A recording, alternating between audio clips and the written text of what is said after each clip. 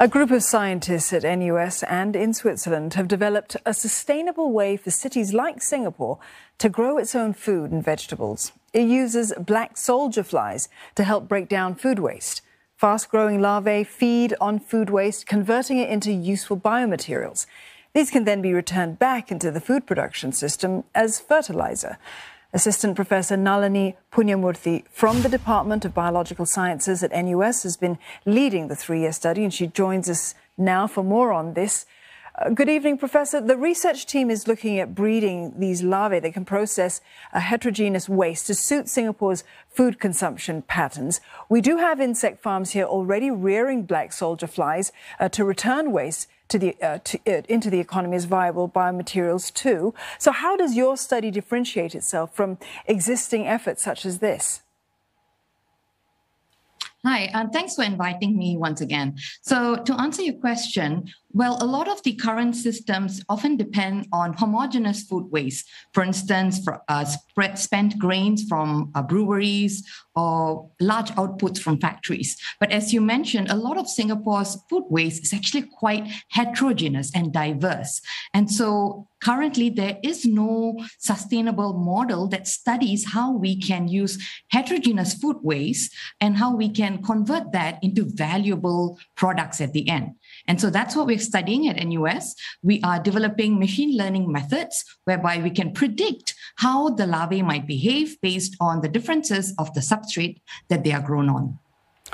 Professor Nalini, your research involves trying to improve the reproduction of these black soldier flies so that they can basically breed in smaller spaces, breed faster, and so on. Can you give us an update of the progress that your research has, has had so far and, and where or how perhaps this can be applied in an urban setting like Singapore?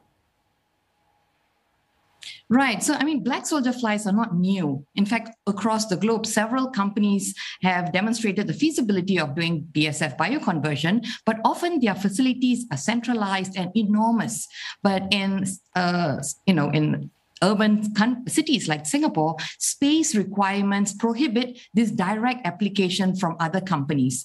And one of the biggest challenges, as you mentioned, is reproduction. So, what we have done is we've used uh, methods which is common with domestication, to do selective breeding for um, in individuals that are able to not only breed under urban environments, but also have better um, viability and the better reproductive traits that are suited for dealing with food in our environment.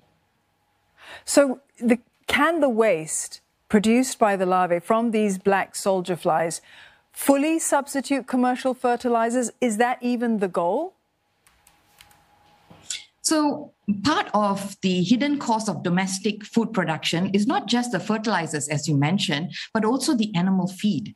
In fact, um, Singapore imported about a thousand tons of agricultural fertilizers, I think, in 2019, which is worth almost half a million.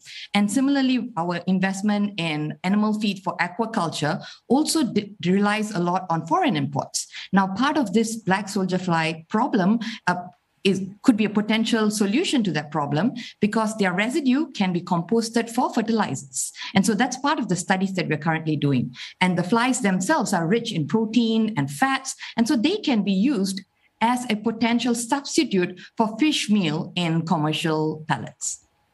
Professor Nalini, thank you very much for sharing more on this uh, project you've been doing uh, with regards black soldier flies and their larvae Assistant Professor Nalini Puniamoorthy from NUS.